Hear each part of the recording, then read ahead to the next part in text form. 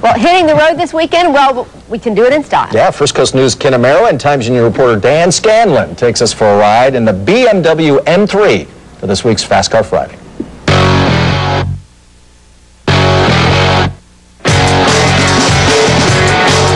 This is a BMW M3, clearly a car that gets a lot of attention, that really fits in with the Fast Car Friday. Of course, Dan Scanlan, the automotive writer for the Times Union.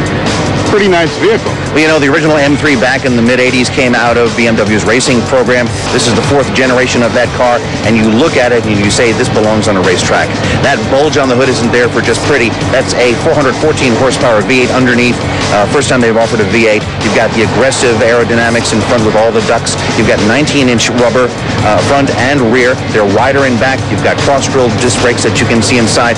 For weight savings, there's a carbon fiber reinforced roof and plastic front fenders. Then you get inside and you've got these wonderful supportive sport seats done in rather intriguing ochre leather. You've got lots of uh, adjustments on them. You've got satellite navigation, real-time traffic uh, announcements on there. You've got a nice sound system, a meaty steering wheel. The coolest part, though, is all of the stuff that you want on this car that turns it from a nice sports sedan into a muscle car.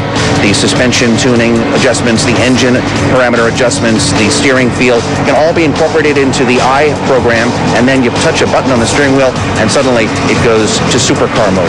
Practicality-wise, back seats, livable for kids, nice big trunk, 15 miles per gallon, 0 to 60 in 4.6 seconds.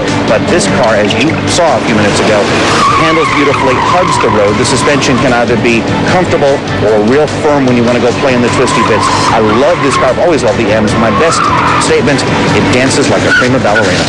Hey, and how much will that dance cost? Uh, $55,000 a dance base. If you get the options here, 66000 And again, 1300 of that is a gas tax.